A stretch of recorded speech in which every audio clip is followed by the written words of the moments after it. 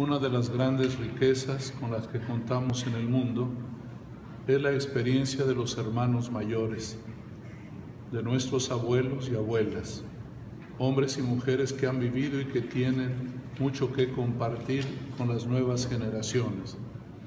En este día en que lo celebramos de manera especial, quiero invitar a la comunidad para que valoremos el esfuerzo y la dedicación con la que han trabajado a lo largo de su vida, imprimiendo un sello especial en su caminar por este mundo. Es necesario que aprendamos a escucharlos y agradezcamos el que podamos contar con ellos. La sabiduría de los adultos es una bendición que ayuda al mejor desarrollo de la familia y de la sociedad. Al respecto, el Papa Francisco ha dicho, la memoria de nuestros antepasados nos lleva a la imitación de la fe. La sabiduría que tienen nuestros abuelos es la herencia que nosotros debemos recibir. Un pueblo que no cuida a los abuelos, un pueblo que no respeta a los abuelos, no tiene futuro porque no tiene memoria. Felicito a todos los hermanos mayores en este día e invito particularmente a los jóvenes y a los niños para que se acerquen a ellos y les dediquen un tiempo, ya que en ellos reside, reside una gracia especial que mucho bien les hará. Asimismo, deseo invitar a toda la comunidad para que nos unamos a la celebración de la segunda Jornada Mundial de Oración por el cuidado de la creación el próximo jueves primero de septiembre, convocado por el Santo Padre.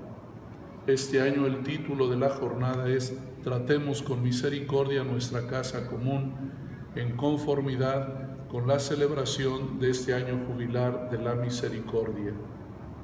Pido a los sacerdotes tengan una particular intención en las celebraciones de ese día o en el día más cercano y dispongan junto con los fieles de la comunidad una celebración especial durante el tiempo para la creación entre el primero de septiembre y el 4 de octubre, que podría ser una hora santa dedicada a la gratitud y a la reflexión sobre el compromiso que tenemos de cuidar el maravilloso regalo de la creación.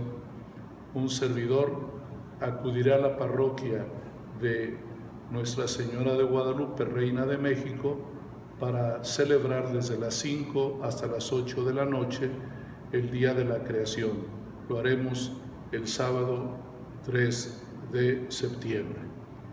Finalmente convoco a la comunidad para participar de las ordenaciones diaconales que celebraré el próximo sábado 3 de septiembre a las 10 de la mañana en la Basílica de Nuestra Señora del Roble. Gracias. Pues, ¿qué, es, el Día de la Creación? Eh, sería lo que se llama también en la sociedad el Día sobre la Buena Ecología.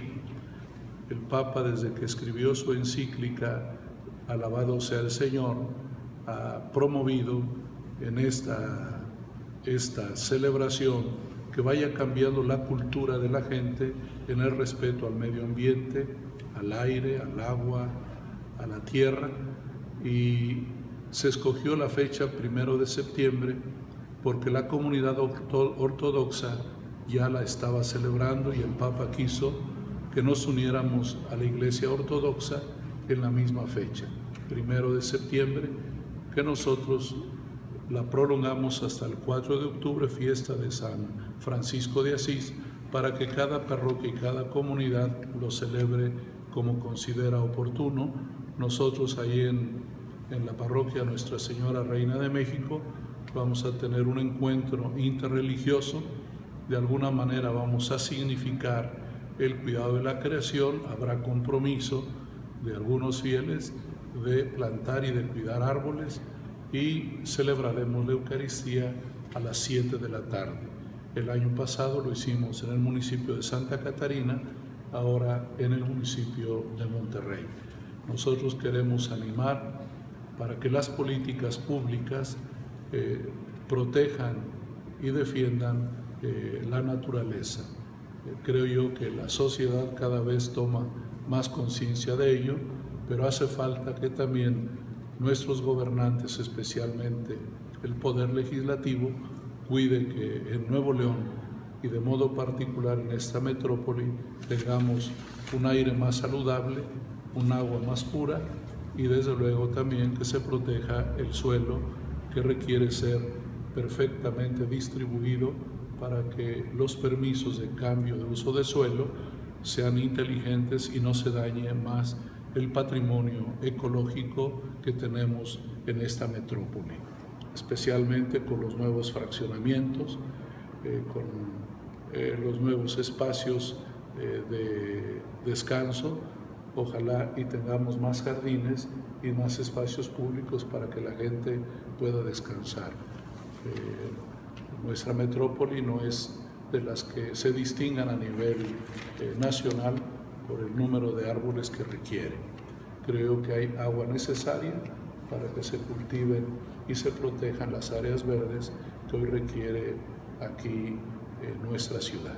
en otro tema, eh, padre, platíquenos su reacción, ¿cómo ve la llegada de la Gendarmería en Nuevo León? Ah, no, no, sabía, no había tenido noticia. Este, hay un reclamo general en Monterrey, en Nuevo León, de que haya mayor seguridad. Eh, se ha pedido en las políticas de nuestro México que haya mando único. Nosotros lo que deseamos es que, quienes vengan a servir a la sociedad lo hagan con apego a la ley y con el respeto que merece la población, que no haya abusos de autoridad y que se preserve sobre todo el orden y la tranquilidad eh, que merece Monterrey y que cuando haya alguien que infrinja la ley se le trate conforme lo marca nuestra legislación.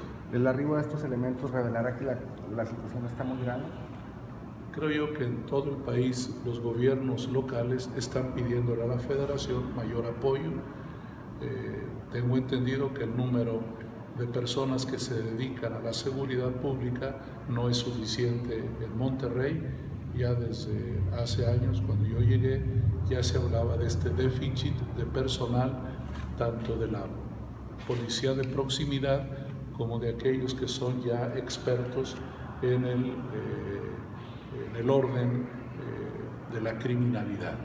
Nos urge y creo yo que es bienvenida siempre y que haya orden en el orden. Oiga, arzobispo, si me permite, en otro tema también, esta semana inicia el segundo periodo de sesiones del Congreso del Estado. ¿En qué considera usted que deberían enfocarse los, los diputados para este periodo? Mire, yo no conozco su agenda, eh, seguramente tienen eh, cosas de retraso. Eh, no sabría yo ahorita qué sería lo primordial. Hay un reclamo, pero este yo abordaré este tema el próximo domingo, que es el tema de la educación pública en Nuevo León, que tiene que hacerse en consenso con toda la sociedad. Creo yo que hay un, deseo a veces reclamo de que eh, los legisladores, tanto locales como a nivel nacional, eh, socialicen eh, los proyectos de ley antes de aprobarlos. Y yo creo que este es nuestro deseo, de que sepamos dónde están las decisiones que van a tomar, las que más atañen a la población. Muchas gracias. Gracias. gracias.